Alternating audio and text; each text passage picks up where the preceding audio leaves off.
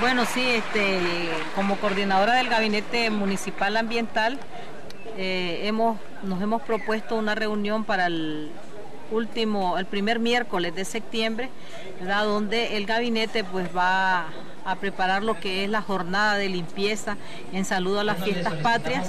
Pues desde ya estamos convocando a la población, ya que el gabinete ambiental sin el apoyo de la población, pues no vamos a poder realizar nada. Pues eh, tenemos también eh, en nuestro programa orientar a la gente de que a partir del primero de septiembre esté la, bandera azul y blanco en cada una de las casas. Esto, ¿verdad? Con el propósito de ir creando ese amor patriótico en todos y todas los condeganos.